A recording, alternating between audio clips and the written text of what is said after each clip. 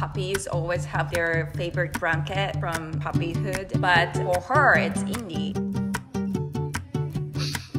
After a few years, he got Kind of beat up. so we gave him a makeover. I took all the stuffings out and then washed him in the bathtub.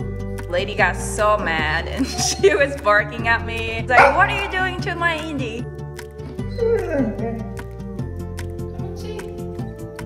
When he was drying out on the table, she was lying down close to him, waiting for him to come back.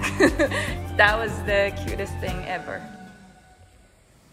I had that toy when I was a teenager, and I always wanted to get that same toy if I had my own dog. So when Lady was less than four months, we went to IKEA to get it. When we came back, she was pretty excited. It was obvious that Lady liked Indy more than many other of her toys. This is before she was fully vaccinated, so she wanted to play with neighbors' dogs, but we wouldn't let her. And Indy was kind of the friend in between. Indy was like her sibling. They were inseparable.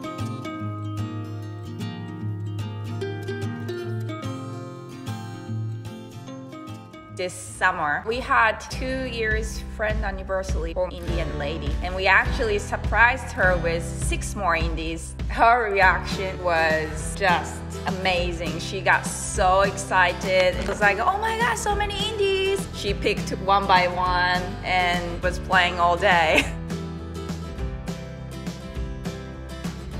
But original Indy is still her favorite.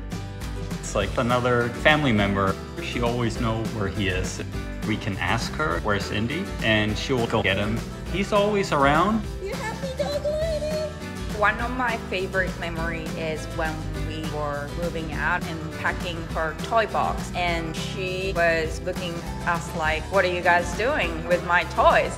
She went grabbed Indy and had the saddest puppy eyes ever. I had to put him in the car with Lady. Indy gives her comfort. I love when they are snuggling. It looks like she has her own baby. and she treats him like her baby. It's really cute.